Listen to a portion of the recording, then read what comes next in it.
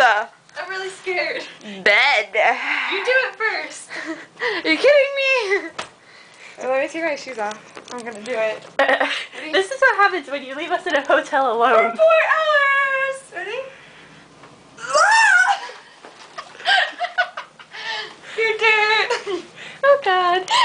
Your turn. Chair. Bed. Chair. Donna freaking out. Bed. Ready? It's my idea to do this, and I'm too afraid to. Ready? Look, there's a mirror. Ready? Don't fall. Donna, jump. Look, bed. Donna, there's still no jumping. I'm sorry. Donna, jump. it didn't work out like I wanted it to. I have to do it again. Mine was funnier. You know what? Shut up. Except I didn't scream. Your dad told us not to get the cops caught on us. that means don't scream when you jump. Well, it's scary, and now my arm hurts. Let's have a party in here tonight. With who?